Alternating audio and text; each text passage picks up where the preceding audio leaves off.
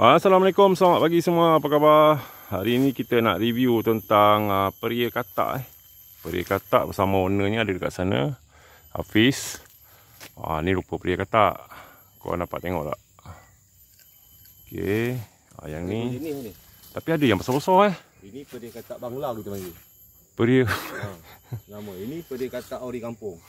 Oh, mana tak sama. Pergi segi kulit je. Hmm. Maknanya ini pria katak uh, kampung.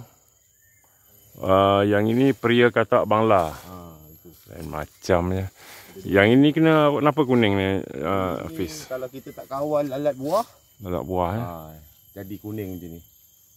Kena ada kuat sikit am racun. Tiga hari sekali kita kena racun lah. Kena kawal. Oh, okey okey okey. Kalau kita tak kawal, Kalau cukup, macam ni memang fail lah, lah ni. ha, itu memang buang lah. Habis kita buat ambil-ambil nak benih je lah. Ha. ha, macam ni. Kita boleh bezakan lah. Dia punya nampak ni. Dia punya kulit dia tu. Ha. Ini pedih katak Bangla. Orang India suka makan ni. Orang dia suka makan ni pria katak Bangla ni. Ini orang Melayu selalu buat ubat kan ni. Cing manis. Hmm. Ha ni. Berbeza lah pak. Dia punya macam yang apa? Uh, yang kampung punya ni dia macam tak tak berjalur eh. Kalau Ah, macam ni dia berjalur. Yellow. Okey okey okey. Ah ni pria katak kampung. Ha, kita boleh tengok beza lah. Kulit dia.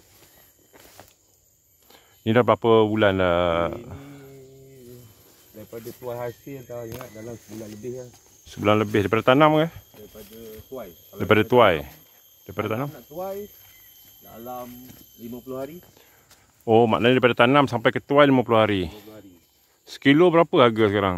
Kilo pasaran sekarang RM2 untuk peri katak Bangla ni. Peri katak Bangla RM2 sekilo kalau kita jual. Ha, Lepas tu- ambil lah pemborong. Pemborong ambil. Kalau yang yang uh, Kampung kampung, tu- ni peri katak Bangla.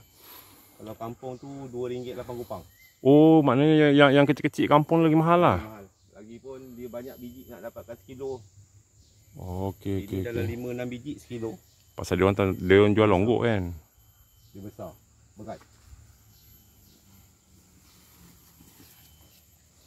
Maknanya pria katak Bangla ni dia berat, besar. Jadinya dia ambil RM2 lah sekilo.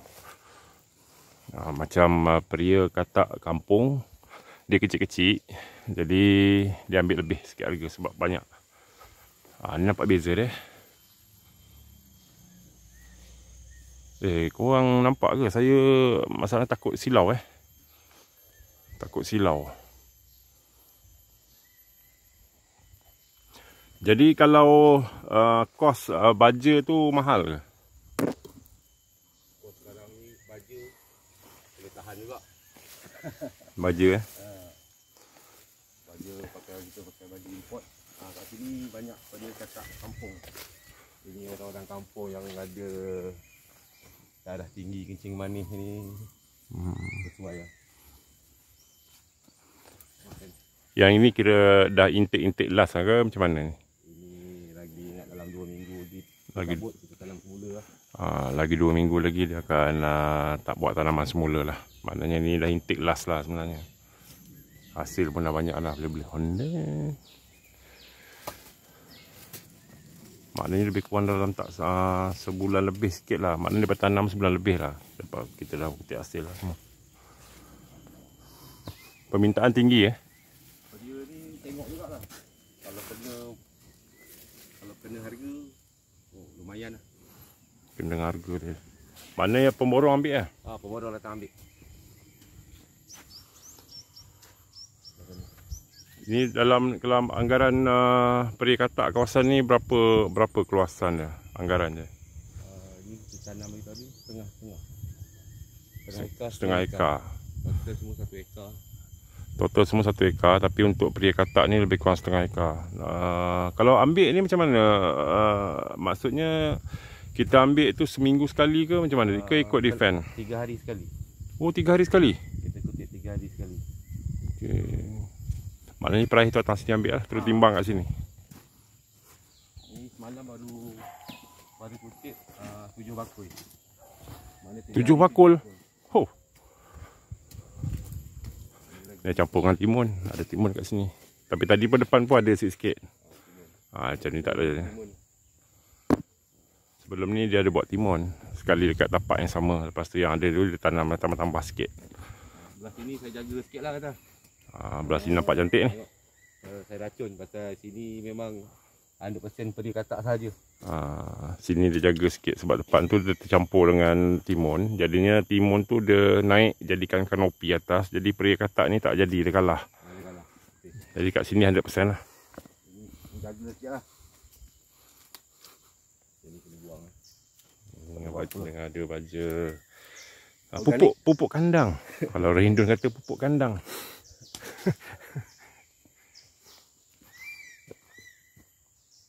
oh, ini masuk ni. Satu sekali collection berapa kat anggaran? Ni. Ini kalau tujuh bakul, satu bakul dalam 40 kilo. Tujuh kali empat, 28. 20, 280 kilo kali dengan RM2.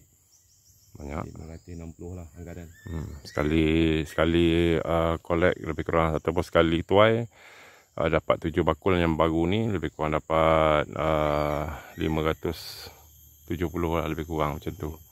Itu uh, maksudnya sekali sekali kutip. Maksudnya tiga hari tu. Kalau tiga hari lagi kutip lebih kurang kalau dapat banyak tu lebih kurang macam tu lah. Ya, Sebulan lebih kurang berapa agak-agak boleh dapat? bulan. Maknanya tiga anggaran. Maknanya banyak ni. 10,000 ada. Tapi peria dengan timun ni, peria ni lagi senang. Senang penjagaan. Oh daripada timun eh? Dia tak cerewet macam timun. Timun pagi petang kena siram. Oh. Peria ni dua hari sekali, tiga hari sekali siram. Hmm. Ha, lagipun dia tak banyak musuh. Maknanya peria ni dia tak banyak musuh. Lepas tu penyiramannya tak sekerap macam timun. Jadi senang sikit lah kalau kita nak buat apa ni uh, penjagaan lah. Dia kalau satu pokok tu berapa lama dia dia dia, dia maksudnya satu pokok dia berapa lama yang dia dia start daripada berbuah tu Sampai habis. sampai habis? Ha, tiga ke empat bulan. 3 4 bulan. Okey. Okay. Peria, peria katak Bangla Lama. Ini lama. Berita Bang lah. Tengok penjagaan. Kalau kita jaga cantik, boleh pergi lima enam bulan. Oh, okey. Ha. Ambil okok je. Hmm, tak betul. Nanti kita duduk kat Okey sahabat, itulah dia cerita dia tentang uh, penanaman peria katak uh, oleh sahabat kampung kat saya. Ini kat kampung saya eh. Uh, beliau menanam untuk kawasan ni lebih kurang dalam uh, 2 ekar dan uh, setengah ekar dikhaskan untuk uh, penanaman peria katak. Uh, kos tu saya tak ada bincang lagi berapa dia punya kos. Uh, tapi boleh katakan dia dia punya harga Maksudnya dengan harga dengan uh, kutipan yang boleh berkali-kali dalam seminggu lebih kurang dalam dua kali. Kemungkinan dua kali ataupun uh, dalam dua minggu uh, boleh mencapai lima kali kalau pokok buahnya banyak. Jadi seperti yang beliau katakan tadi, uh, collection untuk uh, sekali kutipan lebih kurang dalam uh, 7 bakul ataupun paling sikit minima pun 6 bakul lah. Jadi dekat sini kita nampak uh, sekali sekali collection tu maksudnya dalam 500 plus plus lah. Jadi 500 plus plus dalam satu minggu kita kira kan dekat kebun yang setengah ekar ni dia boleh dapat lebih kurang dalam RM 1000 lebih kurang macam tu lah. Jadinya kalau kata 2 minggu 2000 uh, 3 4000 uh, kita anggaran begitulah kan. Jadi dia boleh bertahan lebih kurang dalam kalau pria Bangla tadi uh, sesiapa sahabat yang baru masuk yang baru tengok masuk live dah ada dua jenis variety kat penanaman dekat sini. Ini pria kata Bangla di mana dia ada garisan kat sini. Ada garisan kalau uh, pria kata uh, kampung dia ada uh, bonjol-bonjol macam ni. Tapi dia tak ada yang garisan ni. Uh, dia putus-putus. Garisan tu putus-putus. Uh, lebih kurang macam ni lah lebih kurang. Uh, dia putus-putus. Tu lepas tu pria kata kampung ni dia lebih kecil. Uh, berbanding uh, pria kata uh, Bangla. iaitu yang sebelah uh, mungkin daripada India lah. Sebab orang India apa semua tu uh, memang suka dengan uh, pria katak uh, Bangla ni. Memang baka pun daripada orang kan. Jadi orang memang dah biasa makan uh, pria katak tersebut. Kalau yang kita punya ni pria katak yang kecil tu yang tak ada jalur macam ni. Uh, nampak kalau pria katak Bangla tu dia straight ada jalur ni. Uh, lebih kurang macam tu lah kalau yang yang kampung punya kecil macam yang kita tengok dekat di awal video tadi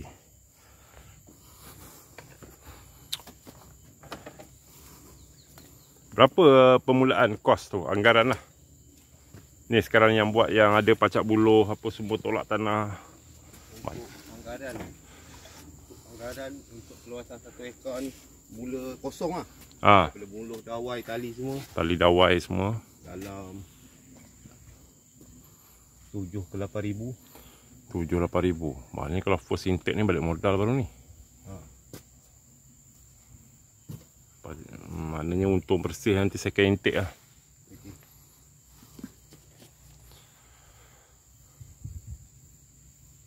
Okey sahabat semua, dah 11 minit. Nah, ini video saya agak panjang ni. Maknanya lebih kurang dalam 8,000 hingga ke 9,000 untuk suku eka uh, tanaman peri katak. Tapi ke, ke overall dalam 2 ekar ni? Satu ekar.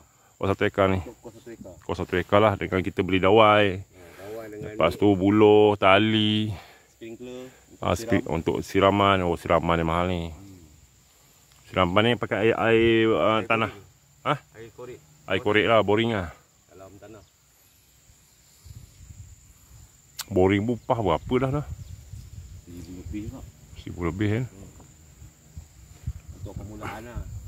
Permulaan dia kasar sikit lah modal.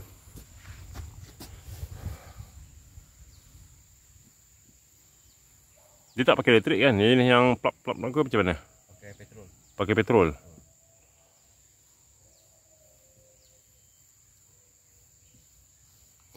Oh kasar modal eh. Okey, itu ya sahabat-sahabat kita ni. Ha, nanti ha, dari semasa ke semasa kita akan review lagi. Hari ni sebab hari Ahad tiada buat petikan hari ni. Ha, untuk menuai buah tidak sebab hari ni cuti. Ha, biasa dia orang buat tuaian. Kalau macam ni dah dah, dah, dah boleh tuai ke? Ni untuk esok. Oh esok. Ha, maknanya esok dia akan tuai lah. Maknanya dah, dah boleh lah ni. Okey sahabat semua, Assalamualaikum. Selamat bercuti semua. Salam Madani. Hmm. Assalamualaikum. Bye-bye.